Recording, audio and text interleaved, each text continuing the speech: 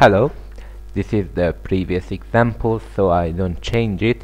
I want to show a thing before I go into the classes and the constructor, okay? You can initialize it with a similar method that we did with the arrays. So,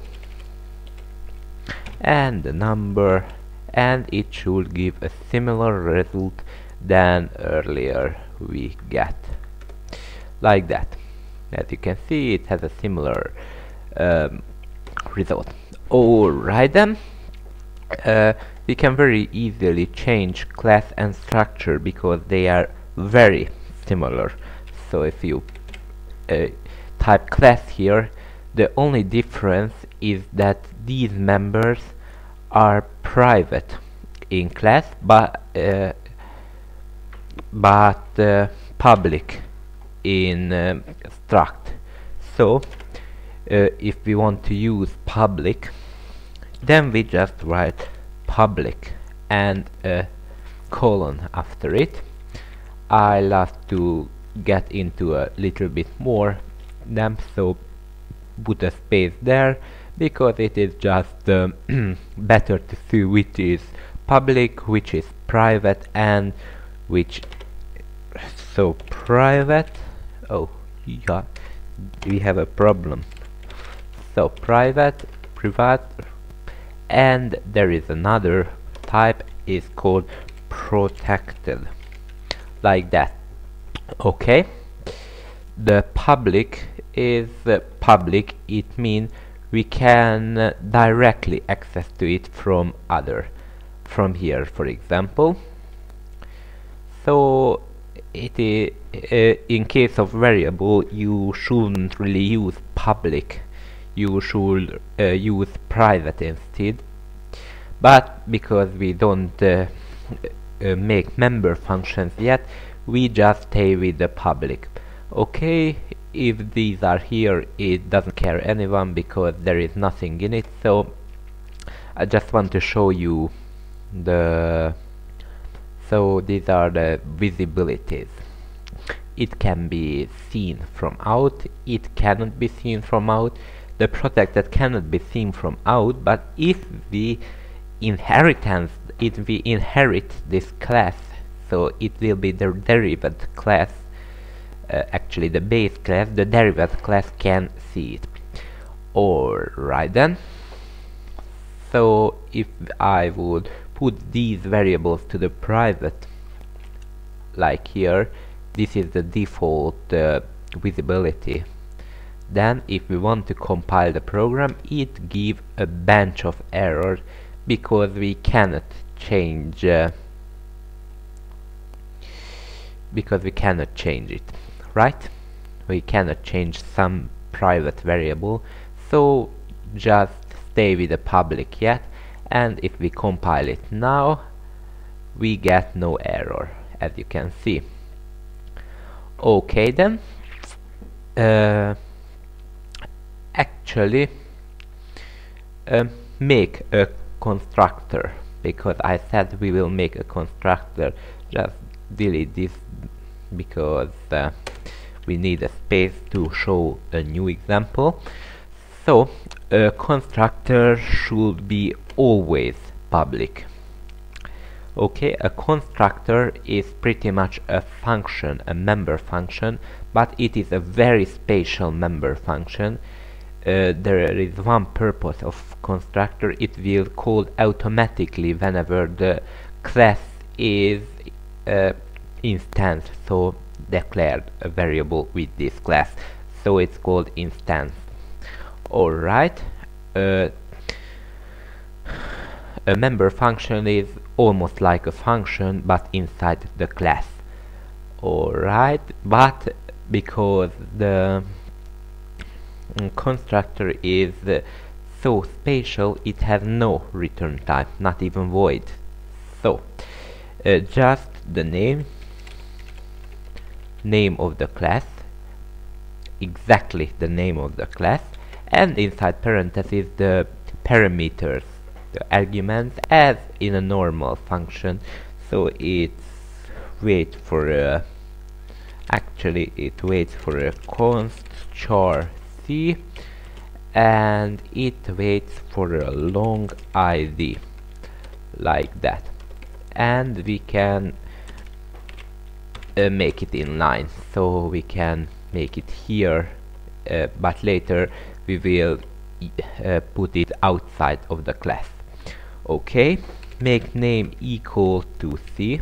Don't worry the string has a constructor actually the assignment operator which constructs from uh, a char array. So the c style string. Okay and I oh, name it other things because I don't want to show you the this operator yet. Uh, id num. Alright so id equal id num. Like that. Okay. Now if we go here we can instance this class then. Oh I really should choose a simpler name for that and make it, it mm, make it person one as in the last tutorial. And inside parentheses you can um, give something. For example we give uh, Carter and a number as previously. Although it does that whenever the person one so the identification is instanced uh, it will call the constructor so this function automatically with these parameters. So this character will be the C and the 1 2 3 is the ID num and make the name equal to Carter and uh, the ID equals to that ID num so the number. And now we can write out. So person 1 dot name and after a space person1 dot id and a new line. Okay in theory we could compile this program. Yeah and we can run it. As we expected it is called this function. We could write it something here like uh, construct head constructed alright then uh, run and as you can see it's constructed. So the constructor is called yeah that is the constructor in very uh, so that is the constructor I want to say. Alright uh, if we put these uh, members into private. The constructor will work anyway but we can't write out. So if we comment this out and compile the program and run it you see it's construct it is constructed so there is no error. The uh, member function of the class actually these are methods. Member function it is the same in C++ it is called member function in Java it's called method but it's basically the same so it they are synonyms. Uh, so a member function or a method can access to it to that class private or protected and protected variables so even and functions because a function can be private and this function cal cannot be called outside of the class. It can be just called inside the class. Alright uh, mm, I think I covered everything that I wanted this tutorial and uh, this can be very useful uh, for you because it will construct automatically. You don't have to write you don't have to directly access to the member functions and uh, and construct it manually. For example, if you imagine a game, uh, I don't know, a 2D or 3D game, uh, there probably is an enemy class or something similar and its constructor have uh, construct things like its life, its position and its mesh or image if it's 2D and uh, yeah it work like that. And if there is need more enemy just uh, instance from the enemy class a new one and a new one.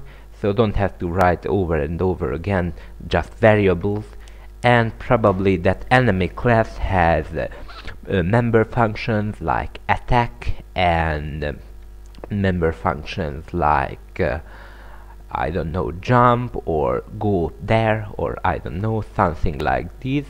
Uh, the, the member function which cannot be called uh, outside of the class is private.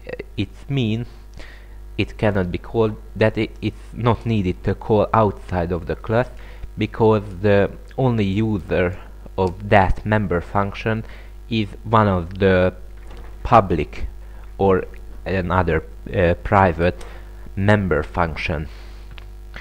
So uh, outside of the class it don't have to be uh, called something like uh, hmm, something like reload for example because the class one of the class function calls it automatically.